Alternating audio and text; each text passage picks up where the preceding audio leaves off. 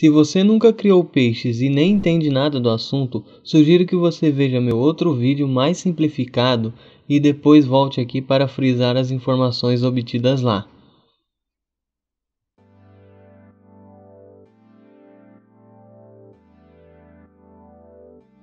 Primeiramente, você precisa de um aquário ou um recipiente para ser a casa do seu peixe. E este aquário ou recipiente terá que ter no mínimo 60 litros. Ele tendo esta litragem ou medidas similares, já é um bom começo. Mas quanto maior, melhor. Menor que esta medida é somente indicado para aquaristas avançados. E por que recomendo maior que 60 litros? Porque quanto maior o espaço, mais estável o sistema. Por exemplo, uma gota tóxica pode ser fatal em um pequeno espaço e inofensiva num grande espaço. Sendo assim, Quanto maior o volume de água no aquário, mais estável. Isso lhe dará mais segurança para manutenção e para o sistema de filtragem agir. As alterações químicas nunca podem ocorrer bruscamente ou em quantidades muito elevadas. O substrato nada mais é que o fundo do aquário é aconselhável usar cascalho de rios ou areia para compor o fundo, igual é do ambiente natural. Lave bem somente com água para inserir no aquário. Evite pedrinhas coloridas que podem soltar elementos tóxicos a longo prazo.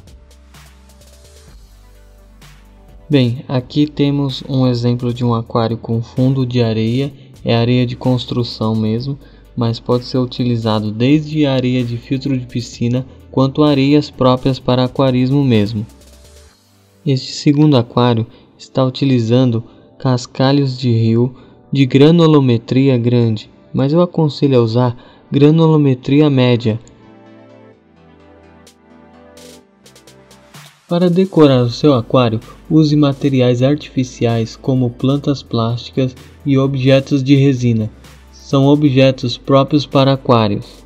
Se optar por materiais naturais como plantas vivas, saiba que, embora seja melhor para a estabilidade do sistema, exige uma experiência maior do aquarista em manter tudo em harmonia.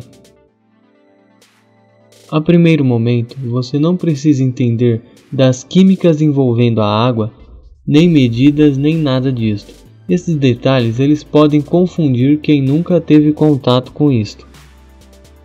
Encha seu aquário com água da torneira mesmo, de preferência água da caixa, pois esta água já estará descansada. É importante um produto anticloro, existem várias marcas no mercado. A água da nossa torneira tem elementos químicos que não fazem mal para a gente, como flúor e alguns metais, porém para os peixes podem acabar fazendo mal, e por isso o uso do anticloro é mais que recomendado para remover estes elementos. O segundo passo é a filtragem. Afirma aqui que todos os peixes precisam de filtragem, até mesmo aquele beta que você vê na loja dentro de um copo. E o vendedor diz que não precisa. Ele precisa sim, e infelizmente é um dos animais que mais sofre com gente mão de vaca e vendedor desonesto.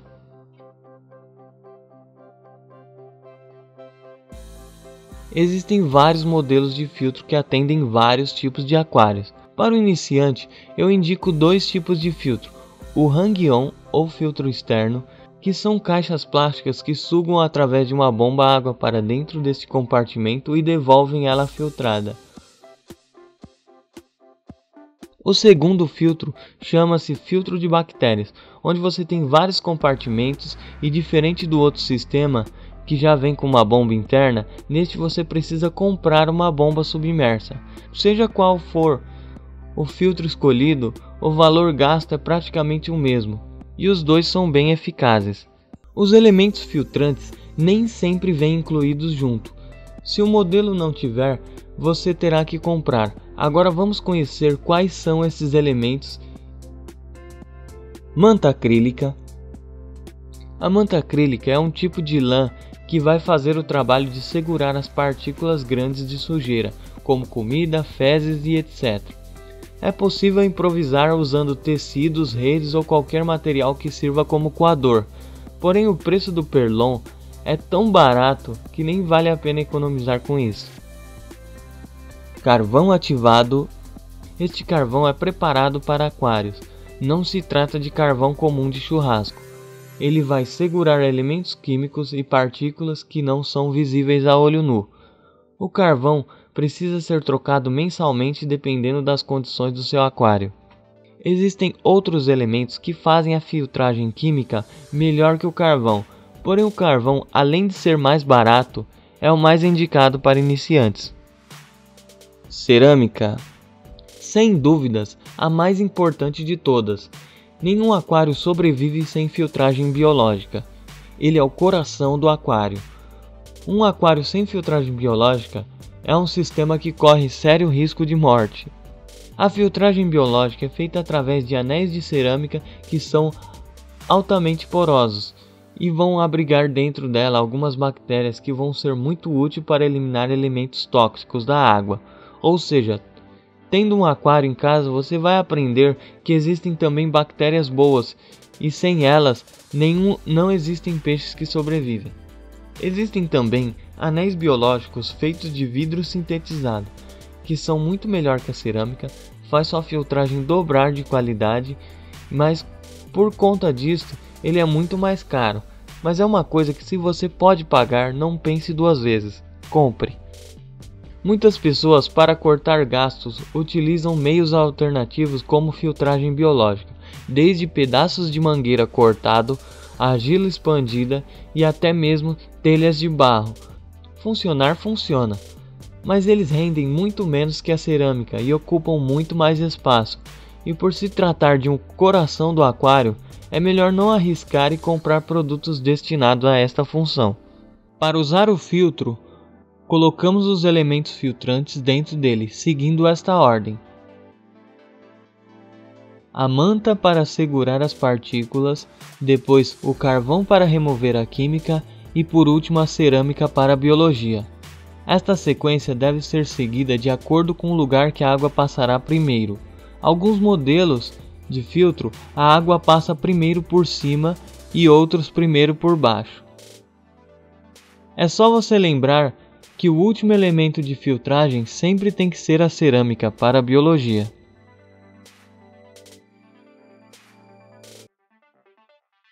Então, agora que já sabemos sobre o principal equipamento do aquário já podemos colocar o peixe. É, não. Eu sei que é chato, mas como na natureza, precisa de tempo para que a vida possa surgir. E é aconselhável que o aquário fique funcionando no mínimo 15 dias para conseguir surgir a biologia necessária.